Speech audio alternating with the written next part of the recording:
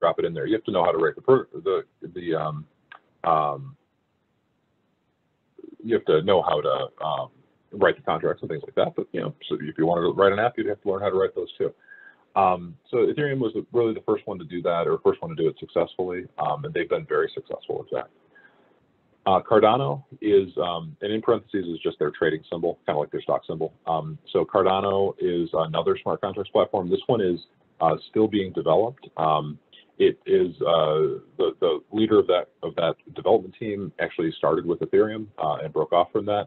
Uh, Cardano is, is, seems to be very robust, um, very well designed, and I'm not sure. I'm not sure if they're going to be successful or not. Their their technology is there, but I'm not sure if um, they're going to ever achieve that kind of like escape velocity.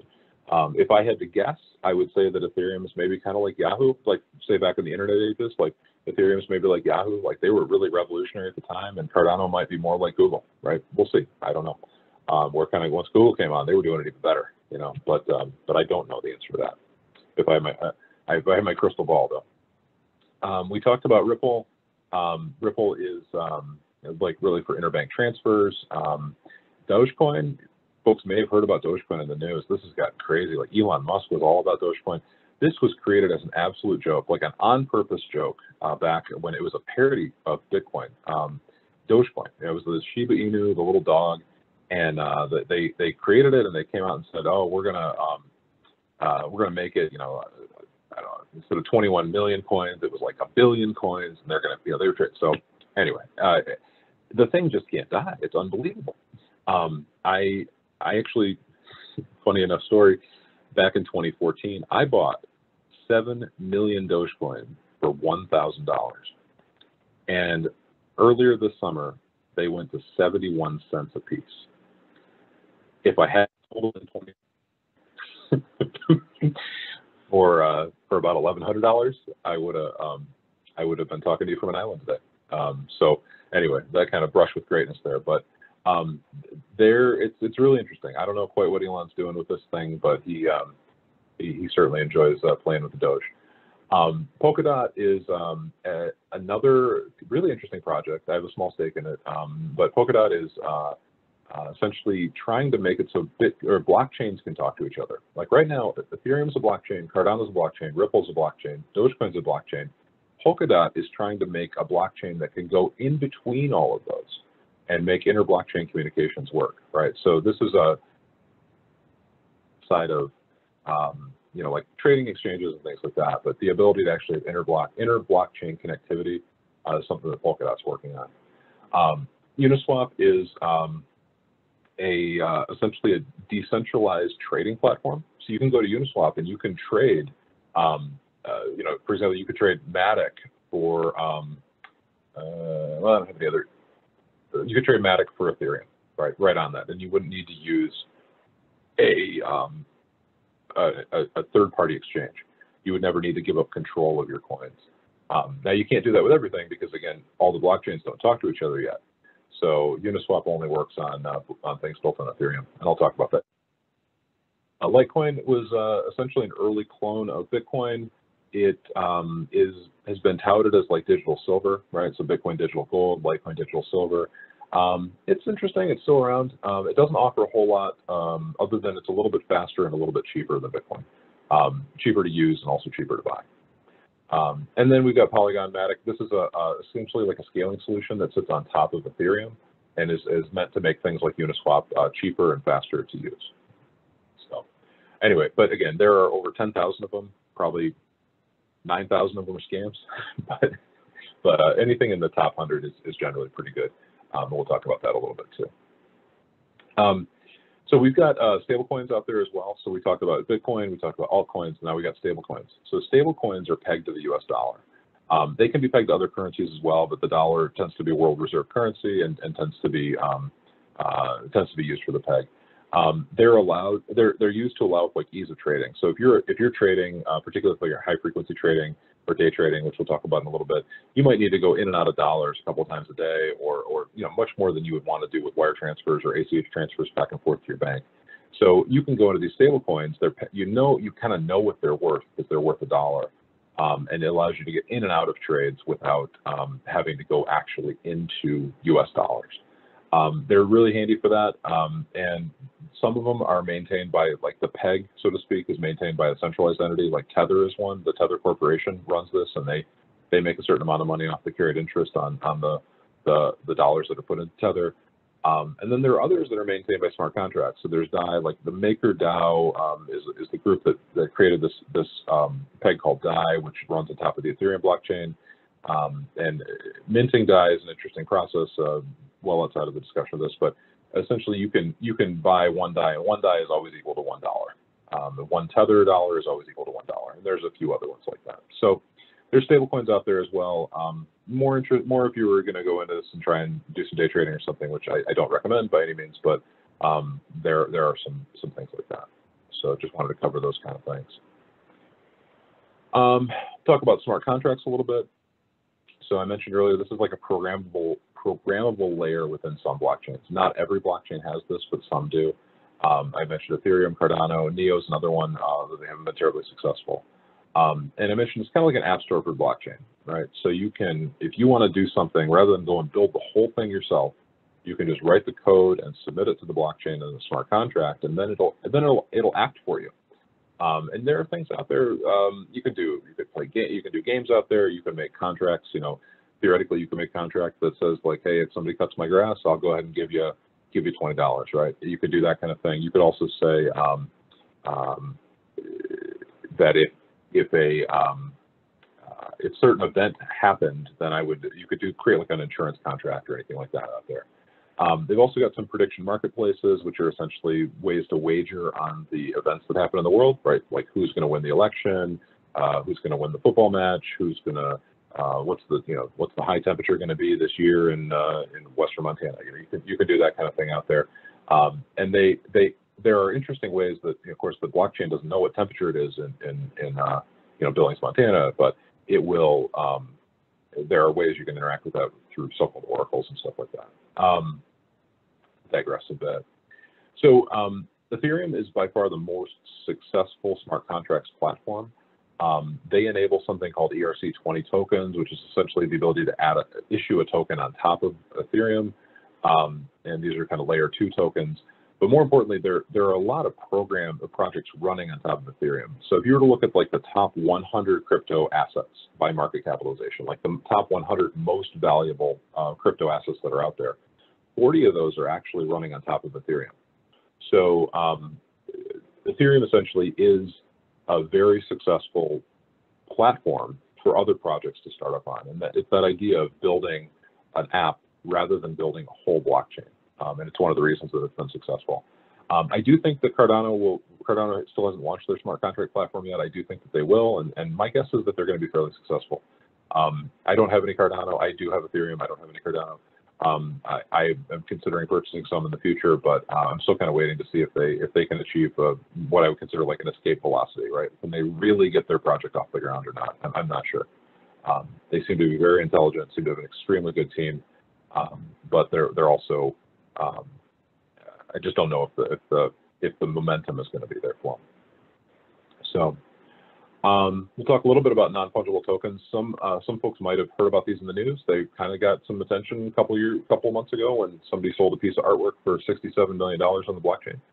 Um, so these are smart contract-based tokens. Um, uh, just the terminology, non-fungible, uh, fungible assets. For those who aren't aware, fungible asset is essentially um, uh, like a dollar would be fungible, right? Any dollar is equivalent to any dollar. Um, a, a, gallon of gasoline is fungible, right? Any gallon of gasoline is equivalent uh, as long as it's the equivalent octane, right? And then it's not bad or anything like that. Like it's a one gallon of gas is worth one gallon of gas.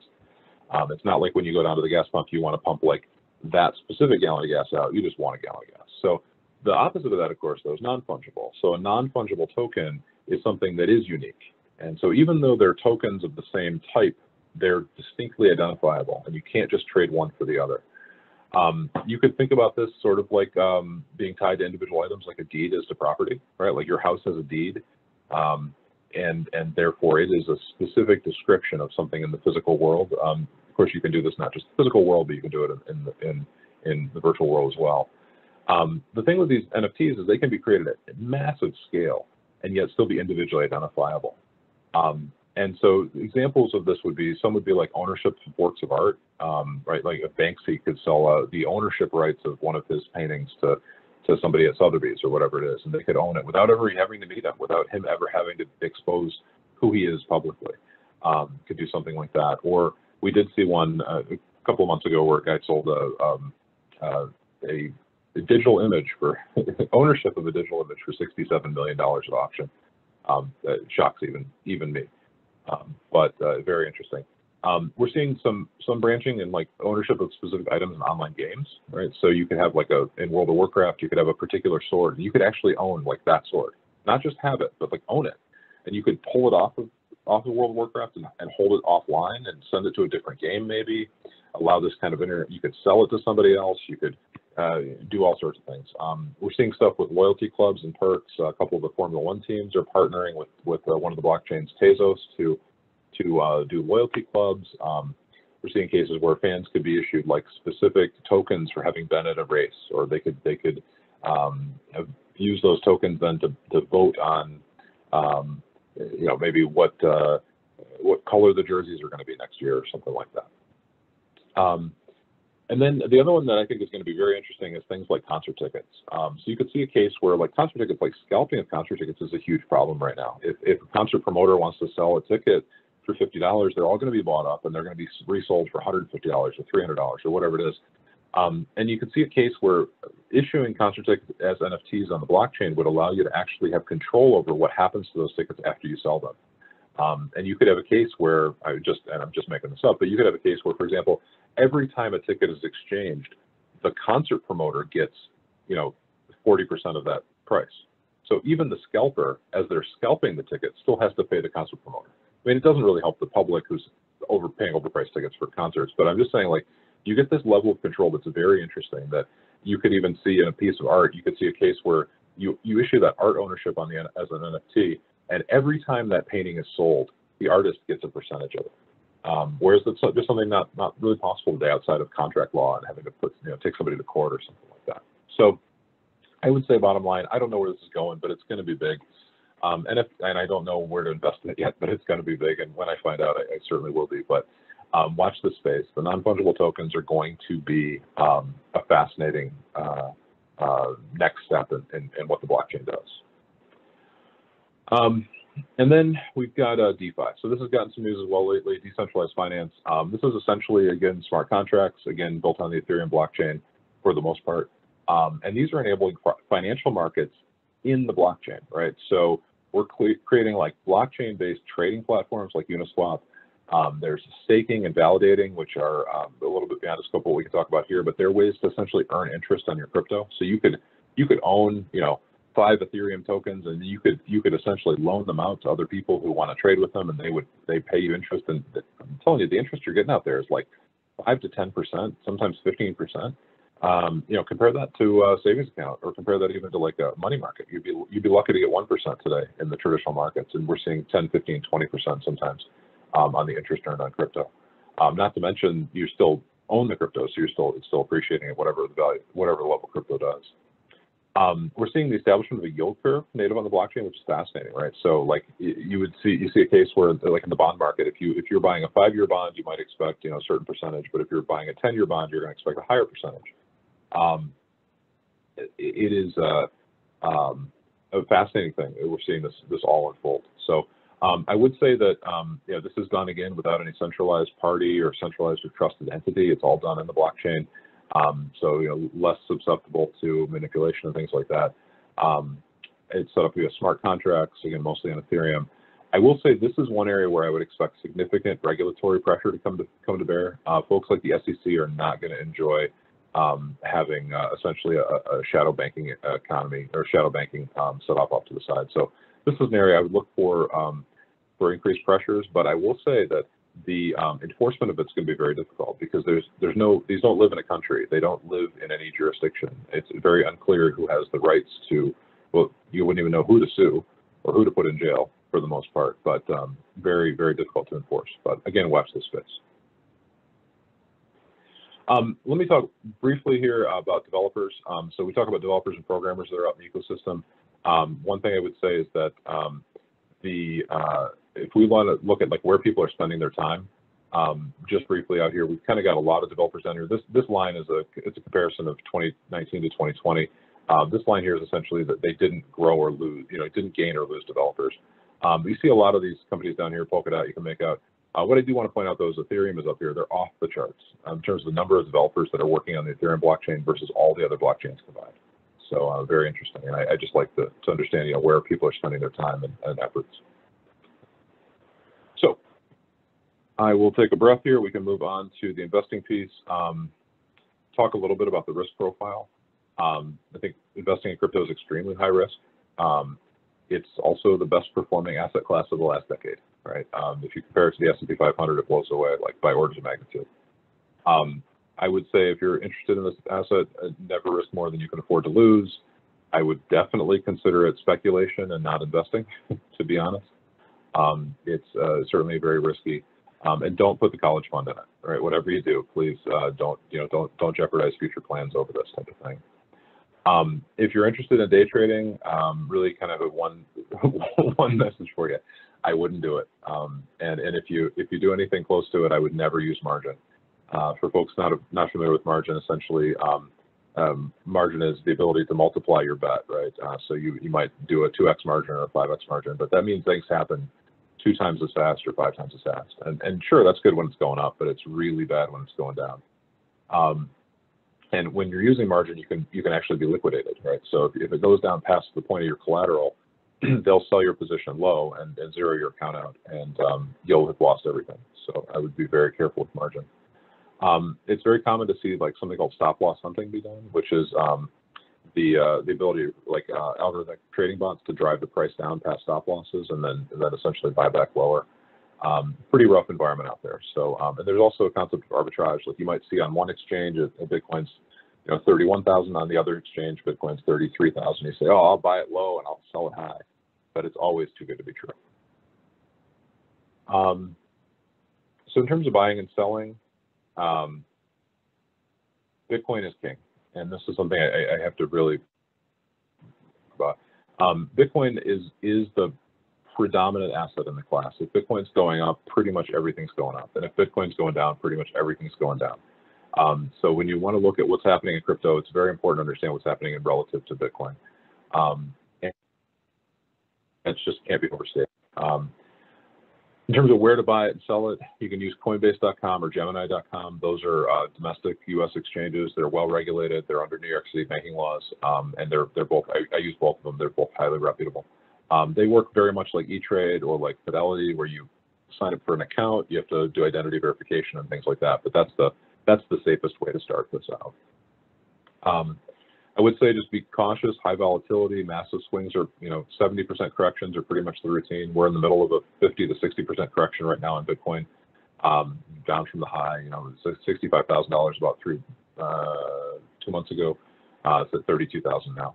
So um, and I would say just the bottom line is buy when you're ready to buy and sell when you're ready to sell. Um, I've, I've, I've tried scalping the market. I've tried saying, oh, I'm going to sell now and buy back tomorrow and it's going to be lower and I, I just lose every time. So um, my rule now is I set some targets and when I hit those targets, I have to sell. Or when I when I want to buy, I, set some targets. When I hit those targets, I have to buy. So um, I would say if you're interested in trying to trade during peak market activity, you may be disappointed because a lot of these platforms tend to crash when everything's going in, everybody's trying to rush in and and and um, uh, get to the get to the sell button or get to the buy button, and a lot of these platforms tend to have have activity. So it's better to it's better to just be out be kind of a little bit above the fray and, and make your make your calls and, and you know get in and stay in for the long haul. Um, I would say both of these Gemini and, and, Coinbase have a retail interface, which looks a little bit more like Robinhood, a little bit more like um, um, PayPal. Uh, you're going to pay a little higher fees if you use those. So I would look for the trader interfaces. The fees tend to be only uh, they tend to be about 30% of what the retail interface trade uh, retail interface fees are. Um, a couple of notes: you do have the ability to um, buy fractions of the coin. You can go down to like eight decimal points. So you can go um, you can just you know buy five dollars worth of Bitcoin. Um, it'll work. Um, and then uh, I would avoid, as I mentioned earlier, kind of these forks like Bitcoin Cash, Gold, Ethereum Classic. Um, and then there is a question of like, should you leave your funds on the exchange, right? This is, I think this is a, a, a pretty uh, interesting question. If you leave your funds on the exchange, you're trusting a third party to store that. Like you're trusting it like you trust your bank. You're trusting it like you trust Fidelity. Um, these are certainly reputable companies, but they could go out of business. They could be seized by the government. They could uh, be hacked by hackers, right? And so if you're leaving your funds on the exchange, you're susceptible to their fate, right? Uh, you're putting your hands in their fate. So um, I would say, as a general rule of thumb, what I've been told and I think is reasonable is like probably you know, look at it in terms of your own net worth and things like that. But if you have like, generally speaking, like probably leaving like ten thousand dollars on the exchange is probably fine, right? Like it's not, hopefully not the end of the world. Hopefully this is all all Vegas money anyway, and you know you, you put a hundred bucks in, and later on it's ten thousand or whatever it is, and yay. But you get over that, like between ten thousand, a hundred thousand, really start looking at pulling those off to a hard wallet, uh, something like a Ledger or a Trezor. Um, and and I've got that in a little later slide, but um, and anything over $100,000, no question, get it off the exchange, keep it safe, uh, but do your research on how to do that ahead of time um, and make sure that you can you can do that safely. The last thing you want to do is outsmart yourself. Um, I, I heard a story a while back of a guy who, in the last bull run, he he finally had enough to pay off his house and retire. And when he went to move the funds, he had them all offline, did everything right. He had lost his password to his vault, and he can't get access to his funds. So be very careful. Don't outsmart yourself. Um, but you know, you have to you have to walk a balance between safety and security, and and not um, not losing your your own stuff. There's no help desk to call on that if you lose your private wallet. So, um, all right. See, we're doing a little late on time. We'll see what we can do here. So taxes, um, yes, you have to pay taxes. Um, I hate to say it, but you do. Uh, it's just like stocks. So you, you don't have to pay anything when you buy it, but you do have to pay when you sell it. Um, it's taxed as a property by the IRS. Um, IRS publication uh, 2014-36 clarified that. Um, in addition, crypto to crypto sales are taxed in US dollars at the time of the sale. Um, so if you were to say buy Ethereum and then later on you wanted to sell that and you sold it directly to Bitcoin, but you didn't go through dollars, it's still a taxable event and it's still taxed in the dollar value at the time of the sale. Um, so just something very important to, to, keep in mind. Like all these sales have taxable events associated with them. Um, most major exchanges, crypto and uh, uh, sorry, Coinbase and Gemini will send you a 1099. Um, that they're also going to send it to the IRS, so uh, helps helps uh, keep honest people honest there.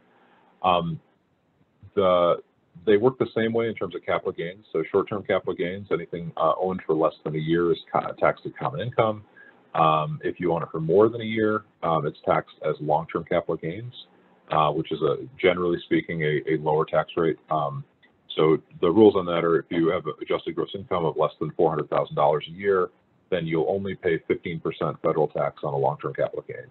Um, if you're over 400,000, um, you'll pay 20% on federal tax, federal capital or federal tax, um, which is you know way better than the 35 or, or 39%. Um, I will say that the um, the Biden tax plan that I um, the information I saw looked at increasing the long-term capital gains tax on gains on adjusted gross income over a million dollars up to 39%. So uh, there's definitely something to watch out for there. Uh, should you be so fortunate to have over a million dollars of income to worry about. Um, also, you can realize capital losses with this, right? So if you um, if you sold something at a loss, you know, you, you bought Bitcoin at 30, you bought Bitcoin at 65,000 and you sold it at 32,000, you know, you would have a capital loss. Um, let's just say that capital loss was was $30,000. Um, you can use capital losses to offset capital gains, uh, so that's good. But if you have capital losses in excess of your capital gains, just bear in mind there's a $3,000 per year cap um, on deducting capital losses from your common general income. Uh, so you would be able to, you know, let's just say you had uh, uh, you had a thirty thousand dollar loss, but you also had fifteen thousand dollars in gains. You could offset that completely. Then you have a fifteen thousand dollar loss still, and you can't just write that whole thing off. You can only write three thousand dollars per year off of that. You can carry it over to the next year, and the next year, and the next year, the three thousand dollars each year. But um, anyway, the capital losses are just a, a little thing uh, to be aware of. However, good news, taxes, the one way this is different from um, um, taxation of a uh, stock is that wash sales are permitted. I don't know if folks are familiar with wash sale, but wash sale is essentially selling a, uh, a stock at a loss and then buying it back immediately, just as a way of, of um, realizing that loss for tax purposes. So uh, wash sales are actually permitted, which is kind of interesting. Again, though, I just got to call your attention. I am not a tax advisor. Uh, please, please consult your own tax advisor for um, more official stuff. But you can tell them I said the wash sales are permitted. But we'll see what happens. We'll see what he or she says. Um, 1031 like kind exchanges um, had been thought to apply to crypto to crypto sales. However, uh, the, the, um, the uh, Trump Tax Cut and Jobs Act, I think it was called, was uh, clarified that 1031 like kind exchanges only apply to real estate and no other uh, securities or properties. Uh, it's very important to keep records. Again, your cost basis is always in US dollars, um, although I recommend keeping track of your cost basis in um, both your dollars as well as the currency you bought and sold from, as well as in Bitcoin. Um, I, I can tell you I've had a case where like I had a, a like an altcoin, I thought it was doing really well, right? And it was, it was up, I don't know, 10% on the year or 20% on the year. And then I looked at what it would have been if I had just kept it in Bitcoin. And it would have been up like 300%. So I was, I had, yes, I had made money, but I hadn't made money the same way I would have if I hadn't tried to quote unquote diversify. So always keep track of your cost basis in dollars, but keep an eye on what it is in, in Bitcoin as well. Um, one thing I will say, I'd be happy to answer any questions I can on this, is that there are ways of doing so, uh, self-directed IRAs and solo 401ks in crypto. Um, I've worked with a very good company um, uh, called IRA Financial. Uh, Adam Bergman is their CEO. I, have spoken to him a number of times. He's been exceptionally helpful. I don't have any affiliation with them other than I do have a couple of accounts with them. Um, but IRA Financial is a fantastic um, uh, resource if anybody's interested in doing self-directed IRA or solo 401k um, with that. You can do traditional or Roth um, to, to do any of that stuff. You can do, you can roll over to it, anything you need. Okay. All right, regulation we'll blast through. I think we're getting to the end of the good stuff here. So um, IRS says that, that uh, um, crypto is taxed as a property. The Security and Exchange Commission says it's regulated as a security. I put to the extent of their powers just because it is this kind of transnational thing. Um, USA tends to be neutral or supportive of crypto, um, tends not to be very opposed to it, at least as of yet. Um, China, on the other hand, is banning it as we speak. Um, they're doing their best to stamp it out. I, I don't know if they'll be successful, but they might be, at least in China. They, they can't stop the network, but they can stop their people from using it. Right? So by blocking all the bank bank on ramps, off ramps, by making mining difficult or illegal. Um, and uh, so I mentioned earlier, you know, the blockchain is not a company. There's no CEO. It really, it's a really interesting thing to see how the regulators might try to approach this problem. Um, uh, it doesn't really exist in any locality. It's it's simply a native protocol of the internet. Uh, it's running all over the world. So you know, who do you take to jail? Who do you sue? How do you shut somebody down? Um, really, the the only way they have right now is to essentially make it difficult to interact with it in the from the traditional financial system, right? You know, it's one thing to have Bitcoin. It's another thing to not be able to um, not be able to um, sell it back to dollars, right? And then what do you do, right? You got this thing that's out there, so maybe you could trade it for a Corvette or something like that. Um, and then anyone can create a blockchain, right? So this kind of goes back to the to the permissionlessness aspect of it. Um, all right, so major pricing factors. Um, I think we've got uh, kind of this reduced inflation rate. Um, uh, we'll talk about the stock to flow model here in a second we've got kind of this four-year cycle we'll talk about and, and uh, some improvements to the Ethereum protocol that are going to kind of reduce the inflation rates of this, um, of the, I should say, the inflation rates of the coins, right? So the issuance rate of the coins. On the other hand, so that's going to drive price down. Uh, lowering the inflation rate will drive price up. However, on the other hand, we've got inflation pressures coming from the traditional economy, right? We've got Fed money printing with all the COVID relief. We've got modern monetary theory other things like that, kind of this Fed printer goes burr type of thing, um, which seems to be related to some of the later spikes in, in price, right? As, as, folks are expecting inflation, folks are expecting uh, traditional assets to, to, while their price may increase, their value may decrease. Um, there's some speculation by retail investors, Robinhood, a bunch of people, their stimulus cash and stuff like that. Um, we also have a lot of speculation by hedge funds out there, and, and Bitcoin is an unre unregulated market. And let me tell you, these hedge funds can throw around a lot of money and they can move the price. Um, it's a relatively low um, uh, low liquidity out there, so um, they're they're doing their thing. Um, but here we have a new asset class. It's not tied to a nation state. It's not tied to a fiat currency, um, and it exists independent of traditional financial markets. Um, although, as more and more players in the financial market get more and more exposure to it, it gets more and more correlated and, and, and can kind of be dragged down. But it is technically disconnected. talk briefly here, maybe another five minutes, then we'll take some questions. this is CoinMarketCap. This is a great site to go just take a look at what's out there. Um, you'll see here, this is um, uh, this is tracking almost 11,000 different cryptos on 385 exchanges around the world. Um, as of this afternoon, when I took the screen capture, it was uh, total market cap is about 1.3 trillion dollars. 67 billion dollars changed hands uh, in the last 24 hours.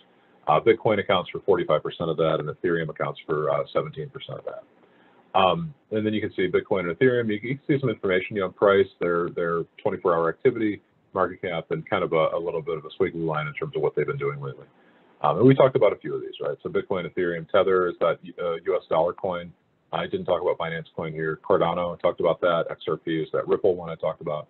Um, and here's another stable coin. This is U.S. dollar coin issued by Coinbase. Um, and um, so just a, a, good site, so coinmarketcap.com. Um, if we look at the current market conditions, this is a graph of the last uh, five or five and a half years of Bitcoin. Uh, see, starting in 2015 here, going through the bull run in 2017, dropping down through the lows following COVID. Uh, this is that kind of February 2020 crash of the stock market and everything else. And then, you know, rocket ship since then. Of course, we've retraced 50% uh, since then. What I don't care for about this chart is that it, it really is the, it's a traditional chart. It flattens things out. So I, I like to look at things in logarithmic mode. This is the same chart over the same time. Uh, but in this case, you see, like, uh, go back a slide, like here, these are very predictable, like 8,000, 12,000, 16, 20, 24. You look at the logarithmic mode, it, it goes, you know, 20 to 280 in one bar, and then up here it's like 7,200 to 10,000, and then, you know, 72,000 to 10,000. So it allows you to get a lot more fidelity on the, the older stuff. So here we see the, the 2015 to 2017 run up, kind of that peak out at $20,000, uh, drop down through consolidation period. Then the, the the real crash with COVID, and then the spike up since then, and then our retracement. So um, that's kind of what we've done. Um, and I'll talk through maybe two of the models that I see uh, being helpful in terms of understanding what might happen in the future.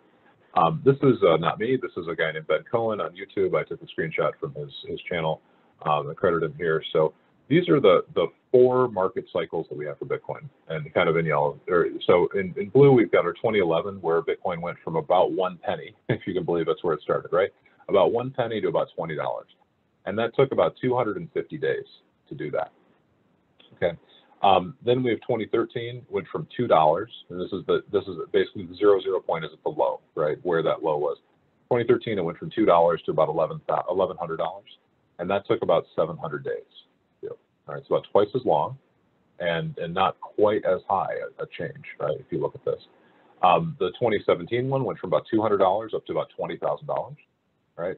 Uh, that took 1,100 days, right? So we have 250 days, 700 days, 1,100 days, and and it didn't go as high, right, before it started dropping down. Um, and now in the purple here, we've gone from 35,000 or 3,500, I should say, to 65,000. Um, and you can see here we've dropped back down, of course.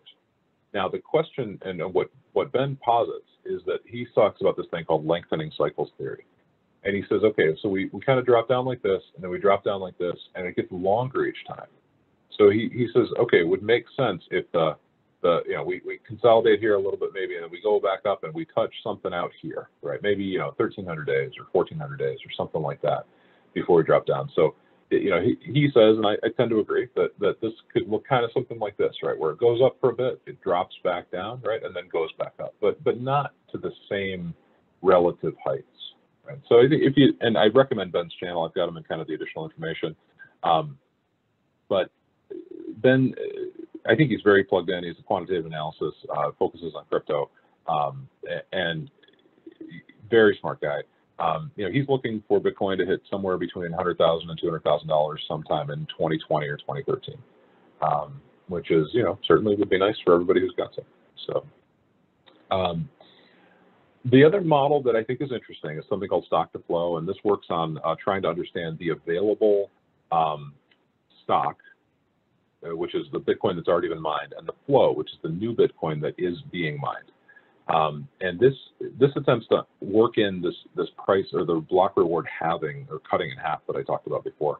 And you can see this this this model was developed back out here in early 2017, and it, it seems to have successfully like the the blue line is is the model prediction, um, and it seems to have successfully tracked pretty well, right? We we came up, we went above it, dropped back down below it, and then normalized, and now went up. And now we'll see what happens. We'll see if this model continues to go out or not. But the stock to flow model is something certainly worth looking into. worth uh, understanding those components um, and how a decreasing supply of Bitcoin leads to an increased price of Bitcoin, right? So supply and demand, right? Um, that as supply decreases, the miners have less of it to sell, less of it hits the marketplace, therefore the price goes up um, as, as inflation goes down, essentially. Um, to talk briefly about some resources, I want to just cover security best practices. I can't stress this enough. Um, basics, uh, don't reuse your passwords. Um, it's a huge security hole. If you're reusing passwords, that's fine to do in your day to, in your you know in your daytime. But uh, when you're when you're working with crypto, please use a new password, and it's okay to write it down on paper. I would never recommend storing it on your computer, but it's totally okay to write it on paper. I know a lot of people even just have like a like an address book and they write down their their um, you know C for Coinbase. They put it under the letter C. They write down the, the password in there. Um, the idea that like somebody's going to break into your house and steal your steal your passwords and know what to do with them is, is pretty low risk compared to somebody being able to hack your computer and pull those out. And and even that pales in comparison to the risk of using your password in more than one site. So please don't reuse passwords. Um, I really do recommend using two-factor authentication. This is, um, uh, you know, it could be they email you a code, they text you a code, they you have a, a Google, Google um, my, my one of choice is Google Authenticator, uh, which is a really good program. Um, and, but using two-factor authentication is just extremely important. There's, there's so many hacks and risk factors out here for this. Um, I do recommend using the Chrome browser instead of any others, um, instead of, uh, particularly not Internet Explorer. Uh, Firefox is probably all right, but the Chrome browser is, is the most popular with the, with the, with the crypto community. Um, they have the most extensions and things like that, um, so both for security and functionality. Um, and then I would recommend just in general installing an ad blocker. Uh, the one that I use is uBlock Origin, which I have to stress is not uBlock. Um, they are they sound a lot the same, but uBlock Origin it'll block all sorts of ads. And a lot of the ways that malware and viruses and things like that get through is is by corrupting the uh, the ads that come in on pages. So um, if you use an ad blocker, not only will your browsing experience be happier, but you're less likely to get a, any kind of viruses or any kind of malware. Um, if you want to get more advanced, I do recommend looking into password managers. Um, LastPass, 1Password, some of these other things, uh, certainly good. Be careful about your secret questions. Um, just in general, folks, I see it on Facebook all the time. You know, like like uh, the you know your porn star name is is um, you know your your dog's name by the and the last name is like the street you grew up on. Well, what are security questions? Their security questions are your what's your dog's name? What street did you grow up on? What car was your what was your first car? Right? Where where did you have your honeymoon? These are the things that, that Facebook is asking you to post all the time. And the people that put those those little fun quizzes out there, they're pulling all that data in. I promise you. They're mining that data from you and they're compiling that and then they're selling it to hackers and they're making money. So be very careful about your secret questions. Um, in fact, on sites that are high security for me, I don't even answer the secret questions with an actual answer. I use my password manager to generate like a six to eight character gibberish. And then I store that in my password manager so that my, even if I did tell somebody that my first truck was an F-150, right? It doesn't matter. I've never used that as a security question. So just a, just a word of, word of caution there. Um, if you're getting into high dollar values, I would avoid using text messaging for two-factor authentication. Um, the two-factor authentication can be hacked that way. You can you can have a what's called a SIM takeover attack, um, and you can also call your mobile phone provider and ask to place a PIN on your account, which helps um, helps protect you. But uh, text messaging two-factor authentication is a weak point in the system. Uh, you can get it hardware wallets. I use a Ledger. Um, I've not used Trezor, Trezor, but they have a good reputation. Uh, hardware wallet is like a um, like a USB thumb drive that'll manage your crypto for you. Um, you can use uh, offline wallets, cold storage. Uh, these are actually just printed out on a piece of paper, and you use them um, that way. They, no no hacking on a piece of paper, right? Um, and I mentioned earlier, like don't outsmart yourself. There's a there was a guy that I you know did read about online that essentially had it all and lost it all because he, he, lost his password. So uh, there's a lot to it there. Um, let's see. We talked about uh, major U.S. exchanges. Uh, Coinbase.com has a retail-friendly side. Pro.coinbase.com is that uh, advanced user interface with lower fees. Uh, Gemini has a retailer thing, but if you if you go in the settings, you can go to active trader and you get lower fees. Uh, we're talking about fees reducing from 1.5% to 0.5%. So it's a significant change. It's a 30, you know, a, 66% reduction in fees. Um, PayPal and Robinhood are both offering crypto.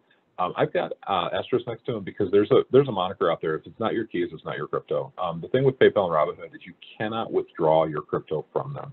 It's essentially like using a Fidelity or something like that, like for stocks. Right? You can't you can't really take your stock out of Fidelity. I mean, I guess you can you, you can you can transfer to another bro- another uh, broker, but um, with Robinhood and PayPal, if, if like tomorrow Robinhood announced that they were just going to stop supporting crypto, your only choice would be to sell it, incur the taxable event, withdraw it to your bank account, and then send it to another exchange like Coinbase and actually buy it again. You can't take the crypto out of those things. So PayPal and Robinhood are very easy to use. Um, uh, I I don't I certainly don't have any any um, hard feelings towards anybody that uses them. I would just say like if you're starting out, um, it takes a little bit extra work to get set up with Coinbase um, or Gemini, but um, if you do that now, you'll be happier in the future.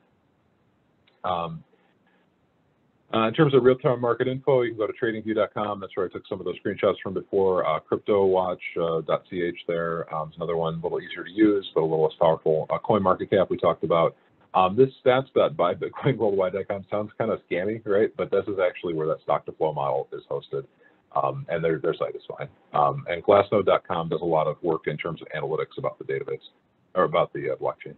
Um, and generally, just consider using those logarithmic views. Um, it'll usually be called log view or logarithmic view um, for looking at long-term trends in uh, in there. You'll see a lot more fidelity over time uh, real, run a real long time here, so we've got some blockchain explorers. Uh, we'll include these in the notes. So blockchain.info will let you look at the Bitcoin blockchain, Etherscan.io for Ethereum, Polkadot, or Polkascan.io for Polkadot, um, and there are many others. Um, in terms of info, uh, Ben Cowen, I referenced earlier, absolutely spot on guy on YouTube and Twitter. Uh, he has a paid subscription. I haven't I haven't pulled the trigger on it yet. It's hundred dollars a month. Uh, it's kind of hard to kind of hard to buy that, um, but uh, you know who knows what kind of money he can make yet. He seems very plugged in. Um, and I'm, I'm really considering pulling the trigger on that. Um, Real Vision is another one on YouTube.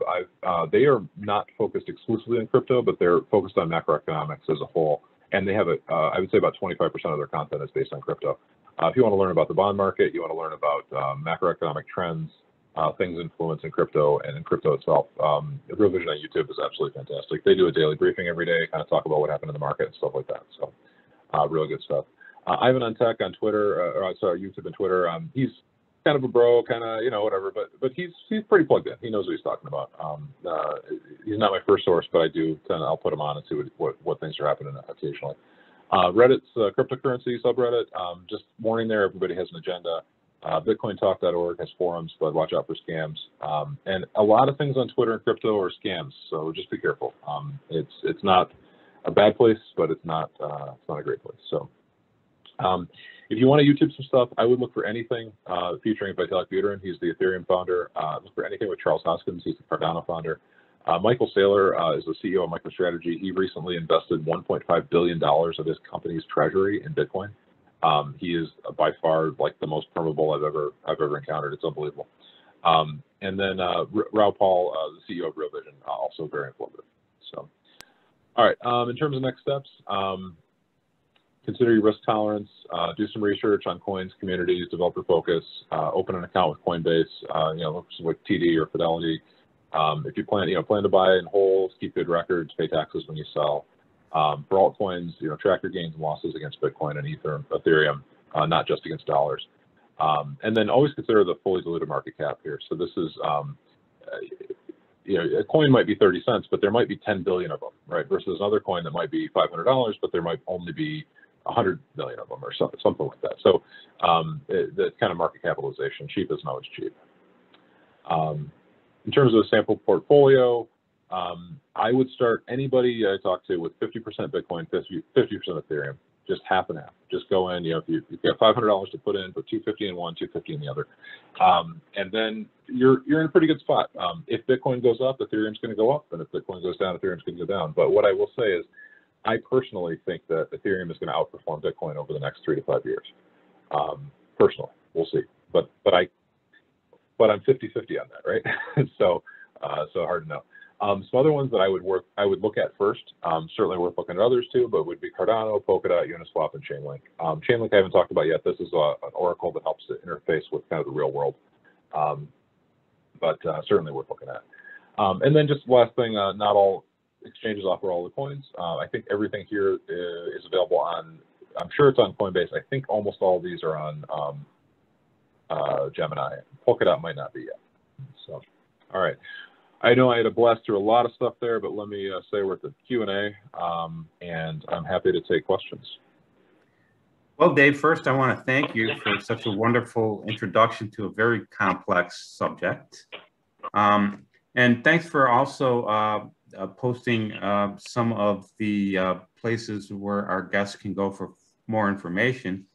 Uh, pursuant to that, I want to remind our guests that uh, if you'd like, you can come and visit me at the public library at Livonia Public Library. You can ask for me, Ken Bignotti. And um, there, uh, we actually have access to a lot of resources that will help you uh, dig in uh, deeper to uh, cryptocurrencies and blockchain. Uh, so uh, come and visit us and we should be able to set you up. Um, I also want to remind our guests that uh, the recording of this session will be made available on our library's YouTube channel, which is available uh, to view. You can actually link to it right from our website. So once you visit our website, just click on the first uh, YouTube um, icon that you see, and that'll take you right to our channel. So we do have, uh, I've got uh, three questions here, Dave, all from our uh, guest, Nicole. And uh, her first question, uh, she follows up with ha ha, but this is uh, this is actually kind of a, a serious question and potentially interesting. Simple, how do I become a miner? I, I, I think that there's probably, you need to talk about some of the hardware that's involved with this and some of the mm-hmm. costs of that. Sure, sure. So there, there are two primary ways to become to become a miner. Um, one is to do what's called solo mining, which is you're you're buying all the hardware, you're building um, the hardware up. Like so, picture um, picture a you, you, build your own case. And I, like I, when I did this a couple of years ago, it was building a case out of like aluminum rails and buying a motherboard and a CPU and a bunch of graphics cards and power supplies and building those, putting those together um, and then downloading and installing the software um, and getting it running. And you know, most of that's Linux based, and, and so you do that, and, and you can um, you can get that up and running. You download the blockchain, and then you start um, you start mining, and and then your your block reward is is essentially a what you would expect is it's in relation to your overall contribution to the network, right? So if you have 1% of the hash power on the network, you would expect to get 1% of the rewards from the network. Um, that's a lot of work and, and absolutely, I mean, I loved doing it. It was a fascinating project. It was difficult, but it was, it was, it was great. And um, I mined for a couple of months and then I wasn't making any money anymore. So it was like, okay, I had to shut them down because they, you got to pay power and everything on those. But um, it was more of a science experiment for me than anything. And, and I did mine on the Ethereum blockchain. I, I haven't I haven't actually mined on the Bitcoin blockchain, but I, I did mining on the Ethereum one. Um, so that's kind of one way.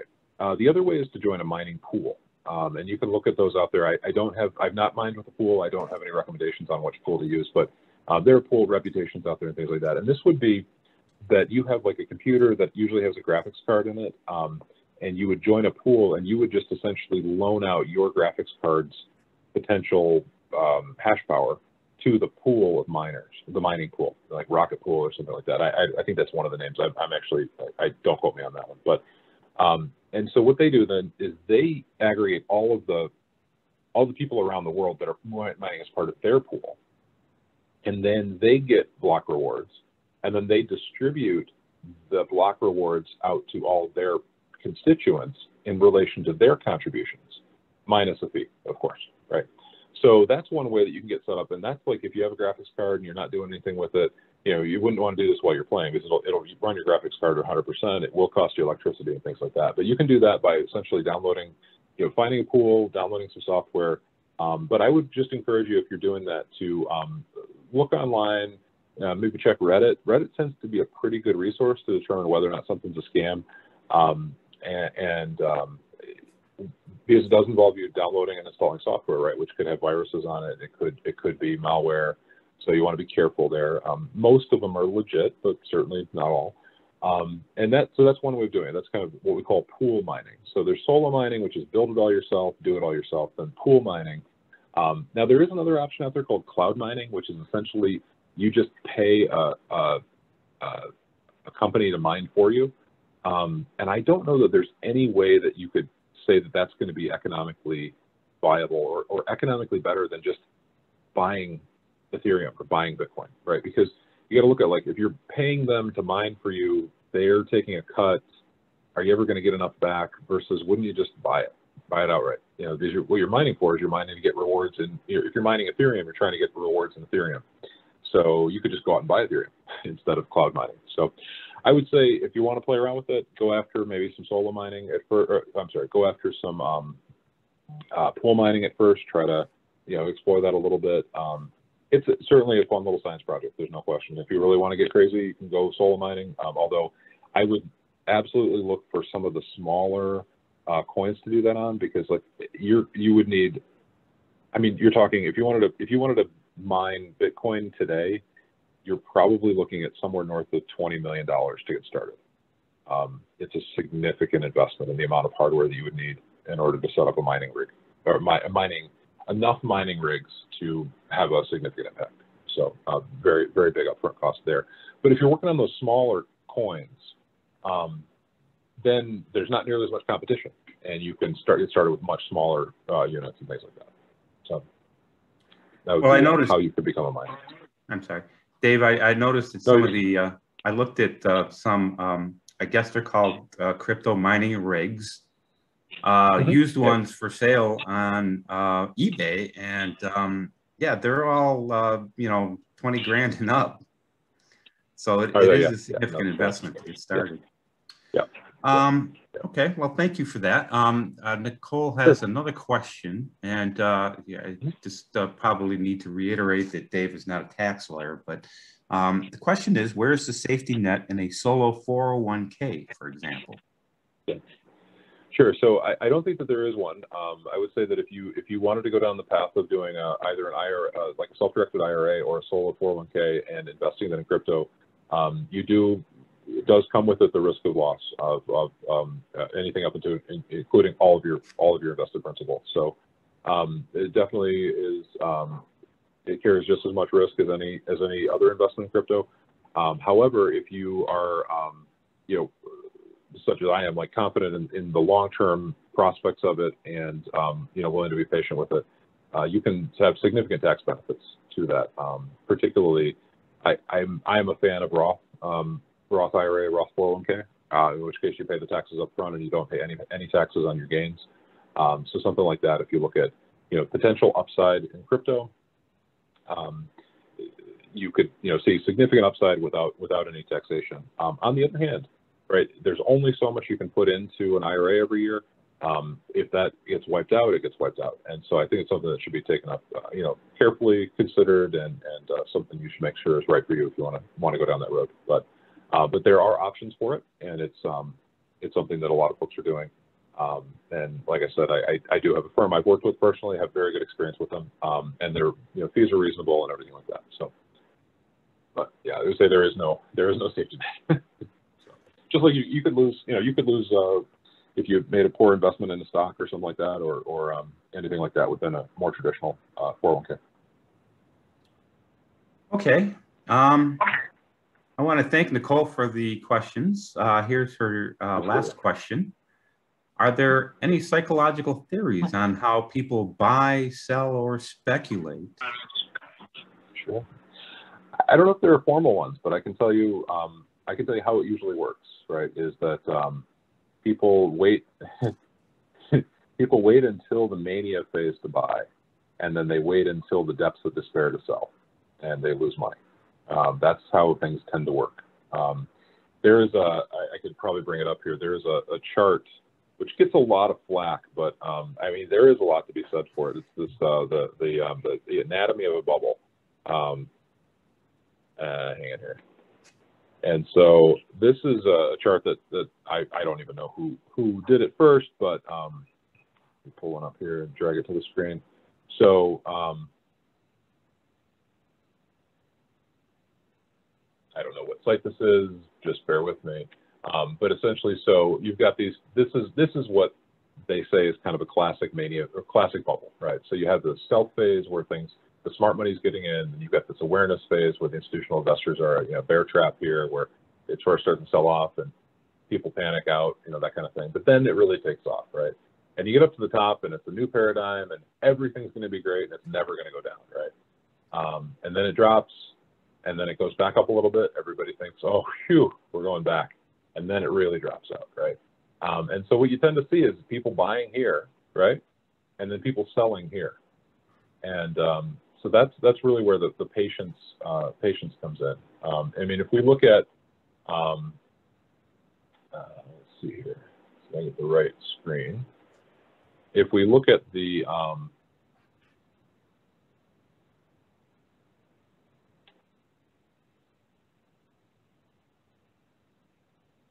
we look at the history of Bitcoin here,